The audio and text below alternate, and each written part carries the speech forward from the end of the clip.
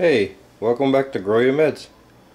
Just want to show you guys my uh, custom made aeroponic system that I make. Uh, it's really cheap, you can make it yourself if you're a little handy. Um, basically I just use all your standard parts you can get at Home Depot like this air pump, these bathroom cups, and uh, I got this is just uh, some uh, peat moss.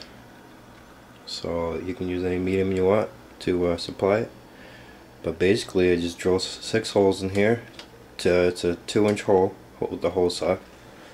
And what I did let me show you the inside. Oh, take this off hold on.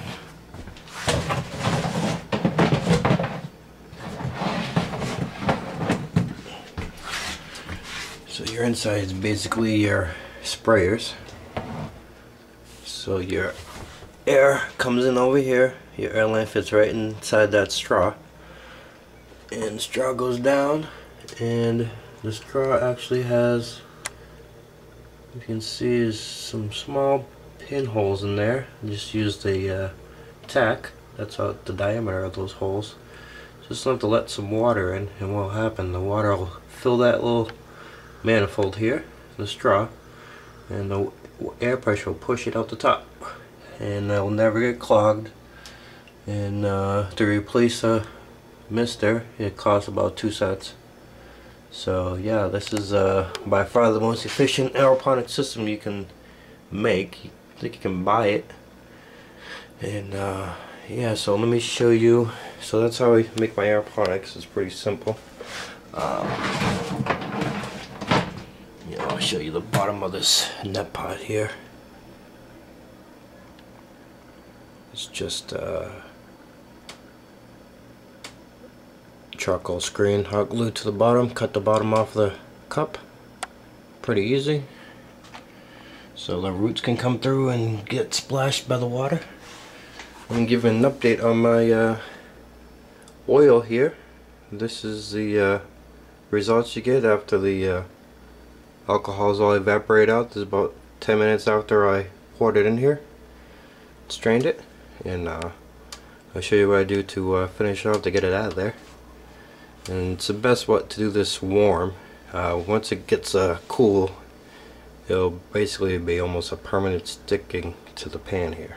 You know the, to the Pyrex dish. So I'm going to put you down I'm going to scrape it up I'll show you what you get.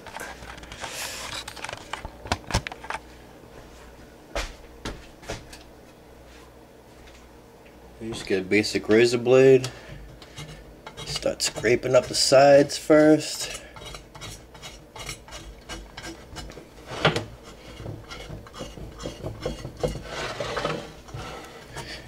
You probably want to best start with a nice clean razor blade.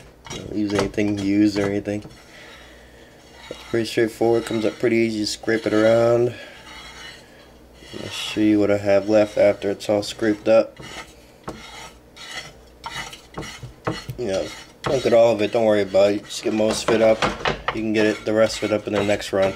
You'll always get it eventually. If not this run, then second run will pick up. And I'll zoom in and show you the color of this. Now if you did this with, without being cold, this color would be uh, completely black. But as you can see, it's not really black. It's like a golden amber color. So a little closer. Basically, you just scrape that off. This is about a half a gram, maybe a quarter of a gram, but it's uh, very high quality. And uh, just a dab of this probably stop seizures if this would if this was a high CBD oil.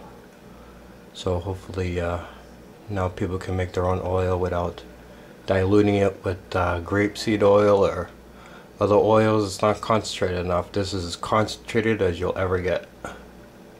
I'm sure you can purge it and stuff like that, but uh, other than that, this is the most easiest way, quickest way to do it. Get it done in one day, same day you get your material.